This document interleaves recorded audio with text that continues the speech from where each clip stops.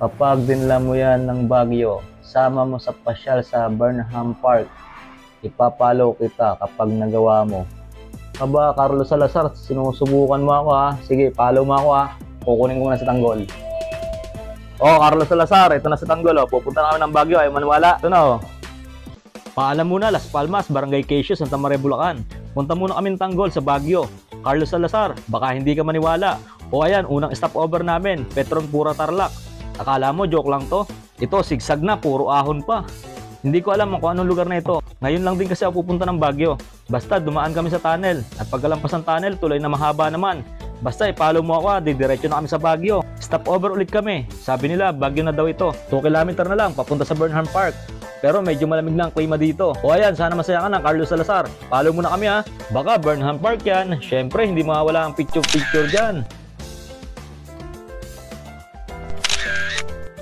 Syempre, picture din kami dito sa may mga nakalutang na bibe.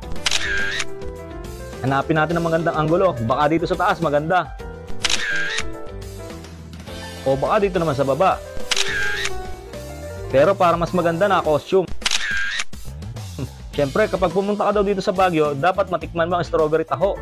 Shoutout kay Kuya, nagtitinda ng taho. Hati na lang kami ng tanggol sa strawberry taho. Siyempre, hindi na din namin pinalampas ang pagpunta sa strawberry farm. Laki naman pagka-strawberry nito, picture ulit yan. Turo ko kay Tanggol yung mga strawberry. Sabi ko sa kanya, lahat ng nakikita mo Tanggol, hindi atin yan. Pag uwi naman namin, Ken Road dapat kami dadaan para dumaan sa ulo ng leon. Kaso may landslide daw kaya hindi pwede dumaan kaya bumalik kami sa MacArthur Highway. I've been hurt before, let down a time